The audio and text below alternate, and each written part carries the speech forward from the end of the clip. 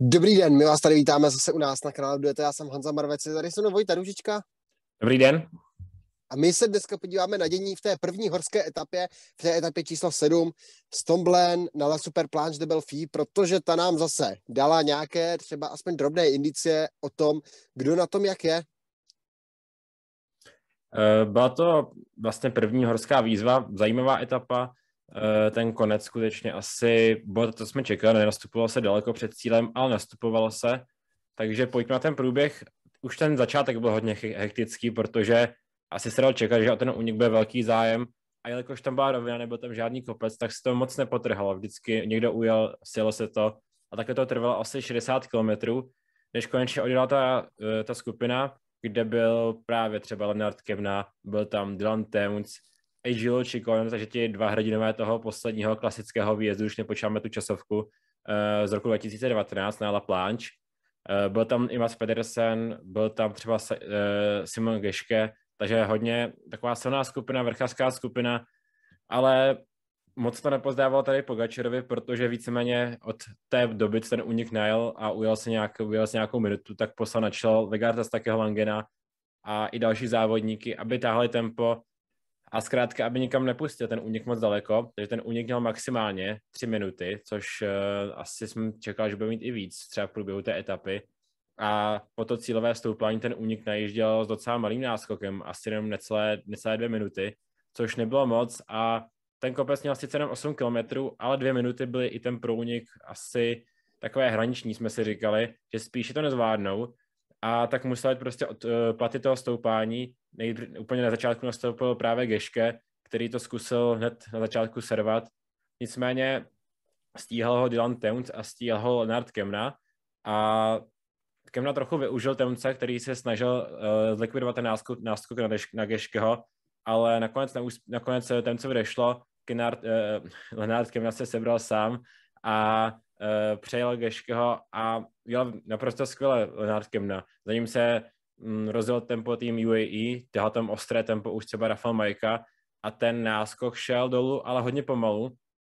A na posledním kilometr vyjížděl ještě s více než, eh, více než půl minutou Leonard Kemna. Nicméně ten poslední kilometr byl právě nejtěžší.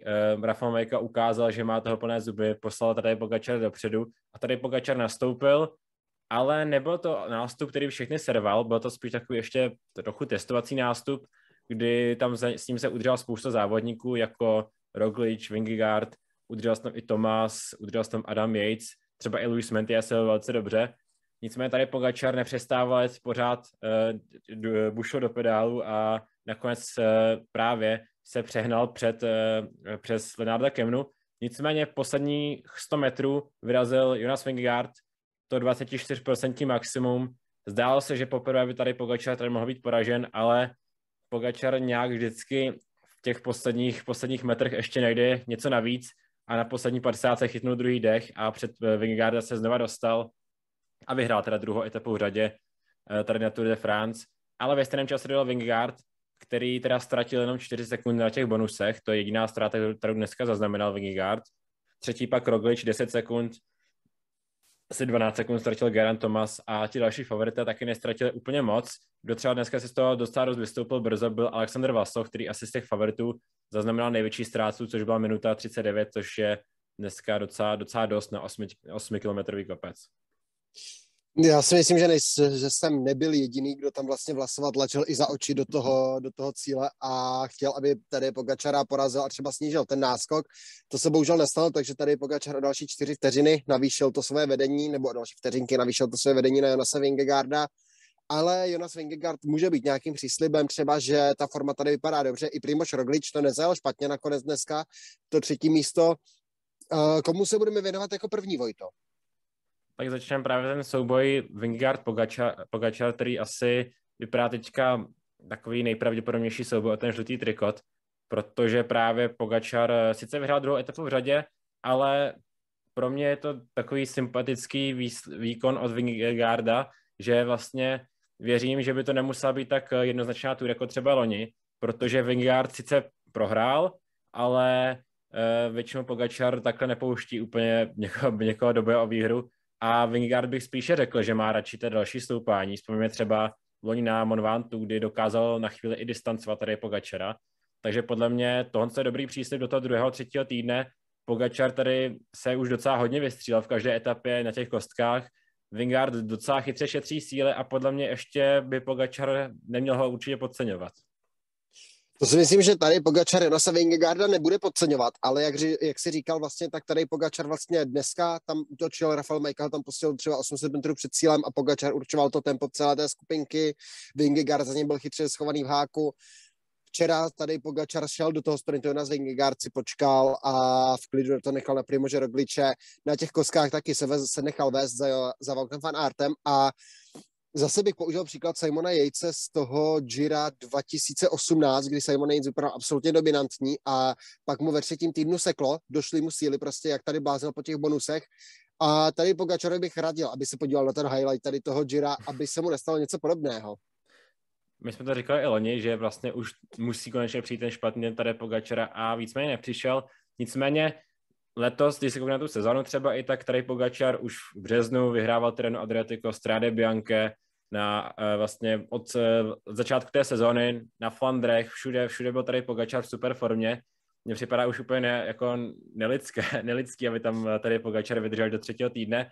Vingegaard vlastně jsme ho celý, rok pořádně neviděli, párkrát se někde objevil a že by to byla nějaká super form, forma se říct nedá, takže to je takový přístup do budoucna a navíc to vypadá, že což jsme se trochu báli, že nestratil Primože Rogliče, protože eh, jak se vyhodilo to rameno, tak pamatuju, když se stalo třeba loni Garantu Tomasovi, tak ten potom byl poloviční, ale eh, Primož Roglič vypadá, že na tom pořád velice dobře a eh, může to být i takový ten útočný domestik teďka, který případně může zatápět i týmu, týmu, uh, týmu UAE.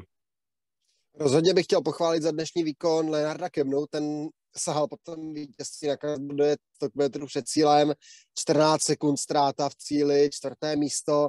Hrdina Gira, který vlastně rozhodl pro Jay Hindleyho to Giro, nebo byl tam tím klíčovým domestikem. Pro mě překvapivá nominace na Tour, ale Lenard Kemna ukazuje, že ta nominace je určitě oprávněná.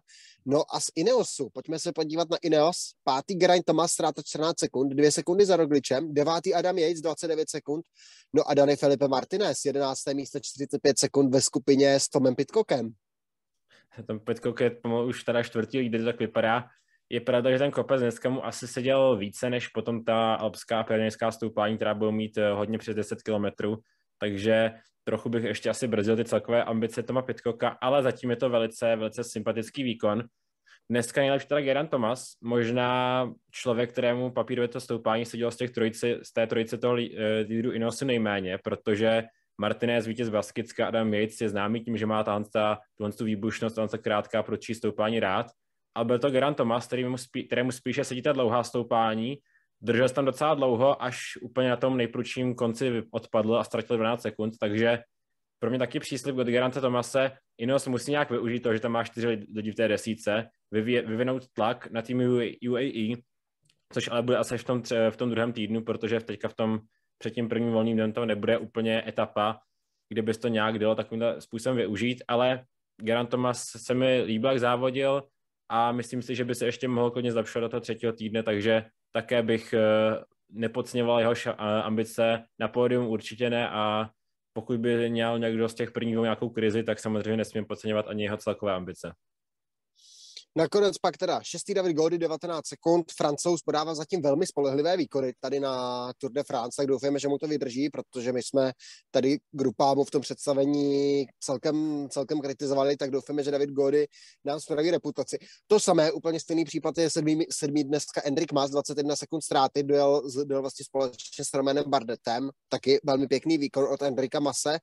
Desátý, devátý Yates, desátý pak Sepkus, jedenáctý Martinez, 12. úplně neviditelný. Zatím letos Rigoberto Urán, pak Guillaume Martin, Tom Pitcock, 15. Nairo Quintana a 16. pak doslova proběhl cílem Louis Menties.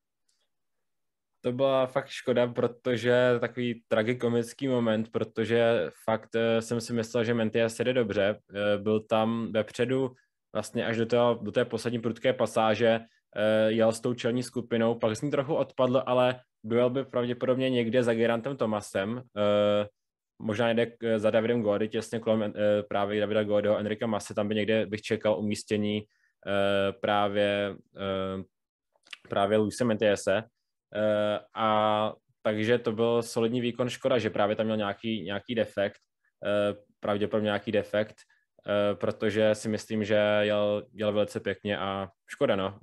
Už má nějakou ztrátu i z těch, z těch prvních dvou etap, takže zatím se na něj lepí smůla z toho ptá, z těch prvních dvou etap, z těch, hlavně z těch, z těch kostek hlavně, tak se na něj zatím lepí smůla, ale forma je velice dobrá, což ukázal už na Dauphine a ukázal to vlastně i dneska. No a co Alexander Vlasov, anebo možná ještě jako Fulsang, to jsou ti z těch celkových favoritů dnes nejvíc poražení. Alexander Vlasov tento tam ještě tak nějak limitoval, minuta 39.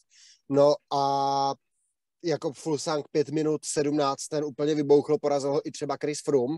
Takže co tady ti dva? Třeba pro Fulsanga už ho můžeme odepsat? Uh, Fuglsanga bych asi odepsal z toho celkového pořadí i třeba s tím ohledem, že on říkal, že úplně to celkové pořadí nepůjde. Včera šel do toho úniku s Voutem fan Artem, což asi ukazuje na to, že tady nemá úplně ty celkové ambice a dneska bych ho asi odepsal. Uh, právě vypadá to, že Chris Froome nakonec toho týmu dneska byl nejsilnější, což bylo možná i trochu překvapení, ale Alexandra Vasal bych určitě neodepisoval, tam je to minuta 39, možná měl nějaký, nějaké, ještě na to nějaký vliv ten jeho včerejší pád, kdy zaprvé mohl být nějaký sedřený, eh, hodně sil tam včera dal do té stíhací, stíhací práce, takže eh, Alexander Vasal bych neodepisoval a myslím si naopak, že se ještě bude v průběhu závodu zvedat. No a máš ještě nějaká témata, nebo můžeme jít na ten zítřek se podívat? Eh, mně asi už nic nenapadá, zkrátka eh, to, co byl takový první náznak, ale víceméně pro mě vyvolal, vyvolal víc otázek než odpovědí. Opravdu nevíme, jestli na tom Vingard je lépe třeba v těch dalších stoupáních to ukáže právě až ten druhý týden. Budeme se muset počkat a pojďme na tu, na tu zítřejší etapu, která je taková hodně, hodně nevyspytatelná. Etapa z dol na, do Lausanne, takže budeme finišovat ve Švýcarsku. Eh, na trase jsou dvě stoupání čtvrté kategorie a dvě stoupání třetí kategorie, přičemž to druhé stoupání třetí kategorie do Lausanne je to cílové stoupání, Eh, má parametry teda 40 km a 45% v průměru. Eh, je to spíše stoupání, najde by se měl dělat nějaké rozestupy, ale eh, ten průměr kazí i třeba, kdy tam je chvilku 100 metrů sjezd, nebo nějakých 100 metrů sjezd, takže to asi kazí ten průměr, který je jinak docela vyšší. Jsou tam třeba pasáže 10% až, takže nějaký, nějaké rozestupy by tam asi nebudou, ale měl by to být třeba podobný dojezd, jako co jsme viděli včera do Longvy, možná i trochu náročnější a asi další den, který bychom mohli vytyčit pro, pro únik. Bude to teda únik nebo na celkové pořadí? K čemu se přikláníš? Já se přikláním k úniku i po té dnešní náročné etapě. Pogačer na to bude spokojený už těma dvěma etapama, rád by asi přidal třetí, ale uh, myslím si, že já jsem právě musí, musí šetřit cíly, takže věřím úniku.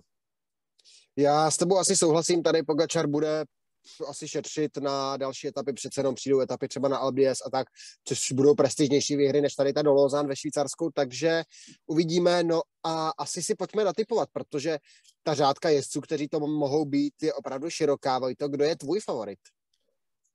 Je jich tu hodně potenciálních těch favoritů, těžko vybírat jednoho, ale já mám takového tady favorita, uh, Andreas Leknesund, vítěz etapy na závodě kolem Švýcarska, takový podobný, podobný profil třeba zítra, takže myslím, že by mohl vyhrát právě Andreas Leknesund. Už jsem se bál, že mě vyfoukneš mého jezdce, ale protože včera jsem typoval, že, nebo na dnešek jsem typoval jezdce Aže Dezer Bena O'Connora, ten do toho teda úspěšně nešel, tak já typnu jiného jezdce na zítra a typu, že to bude Benoa Kosnefrova.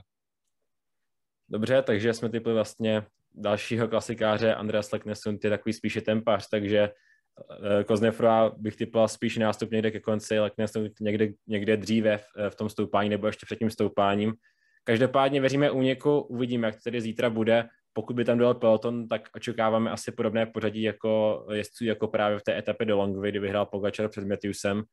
Ale typoval bych skutečně zítra by to konečně mohl být únik. Máme tedy za sebou rozbor eh, další etapy, máme za sebou rozbor etapy na La Planche, eh, etapy sedmé, takže hodně zajímavá etapa, vyhrál tady Pogačar, ale máme tady hodně otázek, které ještě se musí vyřešit eh, do konce Tour de France, takže děkuji vám za pozornost a zase zítra, nashledanou. Nashledanou.